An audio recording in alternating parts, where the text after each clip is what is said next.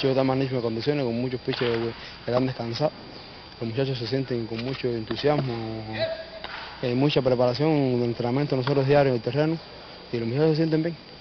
Hay que contar con Villagrara, Villagrara está en un buen momento ahora que va a salir a, a En realidad el picheo libre nosotros no somos partidarios de eso porque pone en juego la salud de los atletas.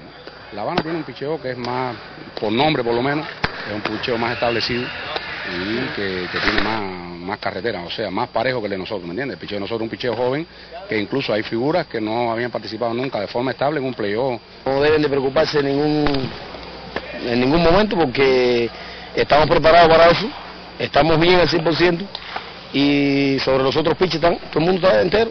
Ah, yo pienso que cada vez que yo salgo esos batazos no, no han salido, salgo pegar a la bola, yo pienso que soy un buen le veo bien a la bola y pienso que los batazos salen, no, no he venido a buscar un batazo así grande y pienso que hasta ahora han salido, no sé más para adelante si buscaré, si me dará la oportunidad de buscarlo.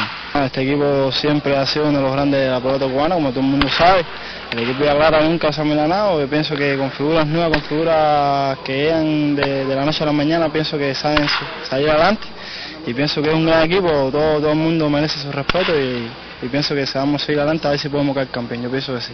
No, la aspiración es ganar el campeonato.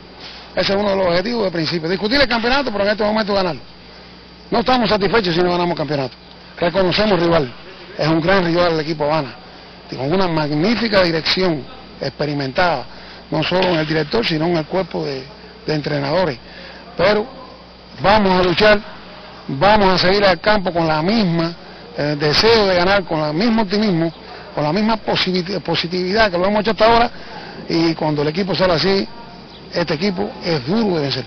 Lázaro Marín, Sistema Informativo de la Televisión Cubana.